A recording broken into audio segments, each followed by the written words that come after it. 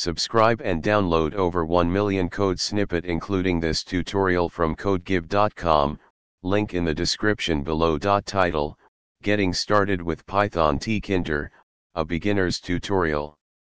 Introduction Python's Tkinter library provides a simple and powerful way to create graphical user interfaces, GUIs, for your applications. Whether you're building a desktop application, a game, or a utility tool, Tkinter offers a wide range of widgets and tools to create interactive interfaces. In this tutorial, we'll explore the basics of Tkinter using examples from W3 Schools, a renowned resource for web development and programming tutorials. Prerequisites Step 1 Setting up Tkinter. Before we dive into coding, make sure you have tkinter installed. For most Python installations, tkinter comes pre-installed. You can check its availability by running the following command in your Python shell. If tkinter is installed, you'll see the version number. If not, you can install it using pip. Step 2, creating a simple tkinter window.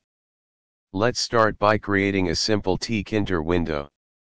Open your favorite text editor and create a new Python file, example simple underscore window.py. Add the following code. Save the file and run it using the command. You should see a small window titled My First Tkinter Window. Step 3, Adding widgets to the window. Tkinter provides various widgets such as buttons, labels, entry fields, etc., to build interactive interfaces. Let's add a label and a button to our window. Save the file and run it. You'll see a label with the text Welcome to Tkinter, and a button labeled Click Me. Clicking the button will print Hello, Tkinter, to the console.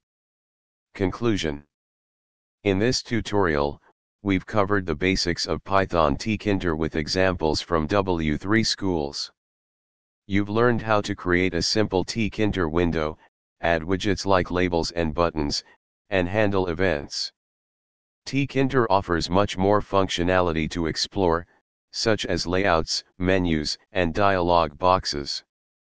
Continue experimenting with Tkinter to create more complex and interactive GUIs for your Python applications. W3 Schools provides comprehensive documentation and examples to help you dive deeper into Tkinter's capabilities. Happy coding! ChatGPT